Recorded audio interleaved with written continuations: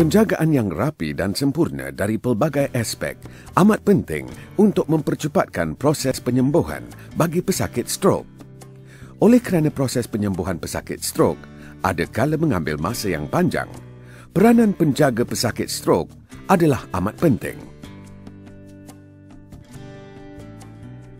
Ikuti enam panduan berikut. Pastikan pesakit strok mengambil diet yang seimbang dan pelbagai agar dapat memenuhi keperluan nutrien harian. Pengambilan makanan yang sehat dan seimbang amat penting untuk membantu proses penyembuhan mereka. Pengambilan makanan harian pesakit mestilah mengandungi karbohidrat kompleks, protein, lemak, serat dan jumlah cecair yang mencukupi mengikut keperluan harian setiap individu. Serat boleh didapati daripada nasi beras perang, buah-buahan, sayur-sayuran serta kekacang. Pastikan bancuhan susu khas mengikut sukatan yang disarankan oleh pegawai dietetik anda.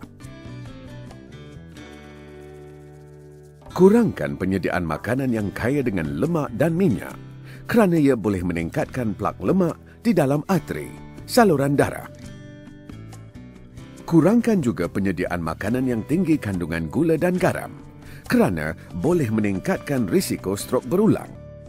Di samping itu, hadkan penggunaan santan, minyak masak, sos salad dan juga krim ketika menyediakan makanan untuk pesakit strok.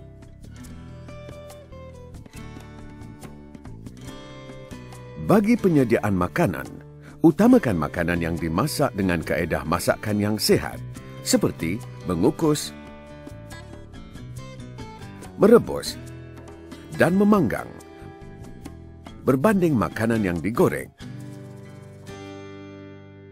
Ketuha gelombang mikro dan ketuha juga boleh digunakan sebagai kaedah memasak.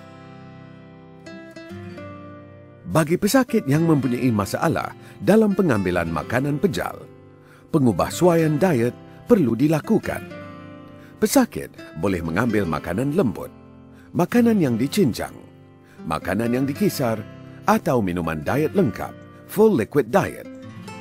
Pilihan diet ini adalah mengikut kesesuaian setiap pesakit.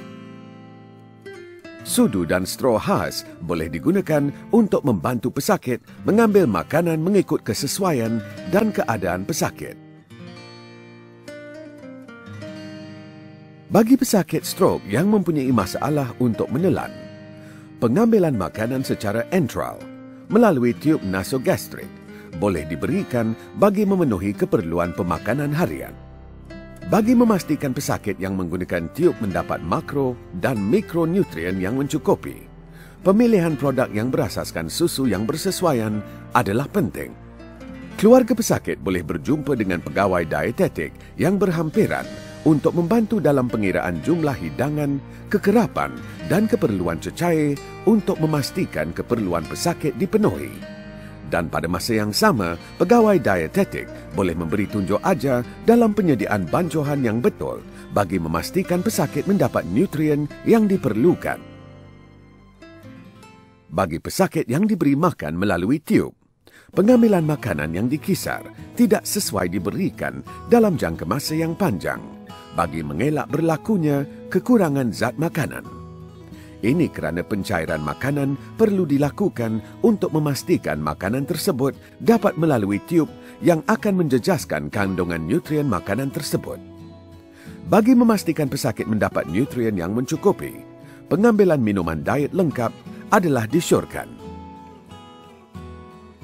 Bagi memastikan tahap kesihatan pesakit sentiasa terjamin, aspek kebersihan perlu diberi perhatian.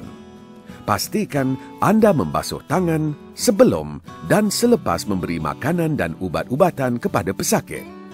Di samping itu, pastikan juga segala peralatan dan perkakasan yang digunakan dicuci dengan bersih. Pembersihan tiub perlu dilakukan dengan mengalirkan air masak melalui tiub dalam anggaran 30 ml sebelum dan selepas pemberian susu formula. Dengan penjagaan rapi, Pengambilan diet yang sesuai dan seimbang boleh membantu proses penyembuhan pesakit strok.